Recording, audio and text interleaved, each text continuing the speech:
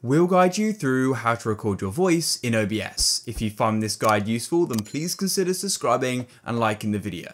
Recording your voice in OBS is super useful because it means you can go and commentate and talk about what's going on. So to go and do this, all you need to do is go to the bottom right of OBS and go and click on settings. It'll go and open up and then you need to go over to the left and go and click on audio.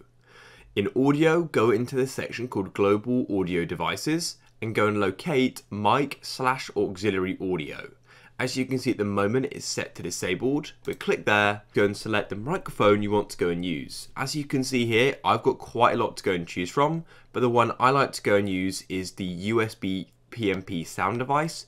You could try using your default one, but personally I just like to go and select the one I actually use. After you selected it, then go to the bottom right and go and click on apply and go and click OK. And then what you need to do is come into the audio mixer and you can go and make some adjustments. So for example, if it's too loud, you can go and decrease it or increase it. And what you may want to do is lower your desktop audio, otherwise that can go and drown out your mic when you're speaking.